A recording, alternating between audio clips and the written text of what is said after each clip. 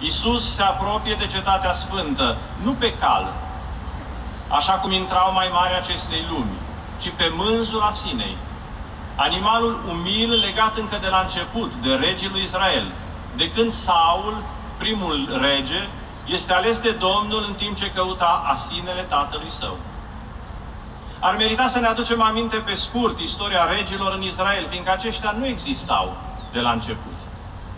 Poporul ales nu avea rege la întoarcerea din exil, deoarece Dumnezeu era regele lor. Poporul Israel nu avea o armată organizată, pentru că Dumnezeu era apărătorul lui. Odată ce se stabilesc însă în Canaan, țara făgăduită, oamenii merg la prorocul Samuel, profitind de vârsta lui înaintată, și îi spun că vor și ei un rege. La fel ca celelalte popoare. Samuel se plânge Domnului, iar Domnul îi spune, citez, Ascultă glasul poporului în toate câte îți grăiesc, căci nu pe tine te-au lepădat, ci pe mine m-au lepădat, ca să nu mai domnesc eu peste ei.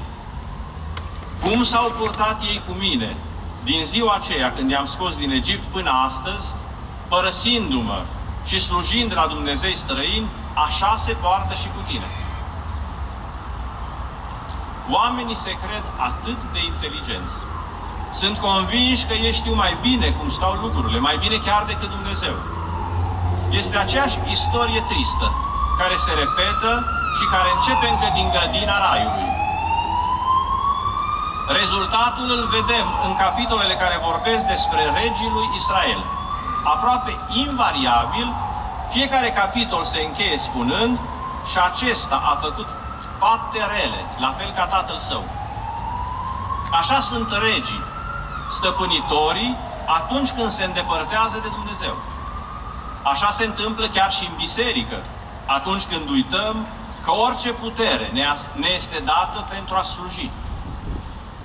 Citind intrarea lui Isus în Ierusalim în această lumină, înțelegem că Mântuitorul renoadă firul rupt în vremea lui Samuel și intră în cetatea sfântă pe mânzul Asinei, prezentându-se tuturor ca adevăratul rege, Fiul lui Dumnezeu.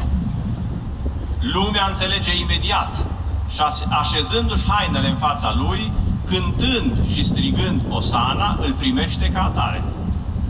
Ceea ce nu înțeleg însă e că domnia lui Isus e cu totul altfel decât ei și-o imaginează. Fiul lui Dumnezeu nu vine să-i scape de robia romanilor, ci de o robie mult mai grea, aceea a păcatului. Iar pentru a împlini această lucrare, se face slujitorul tuturor, nu doar spălând picioarele apostolilor, ci luând asupra lui păcatele noastre, murind în locul nostru, pentru noi. Slujirea noastră, a mea, nu poate fi altfel decât cea a Mântuitorului.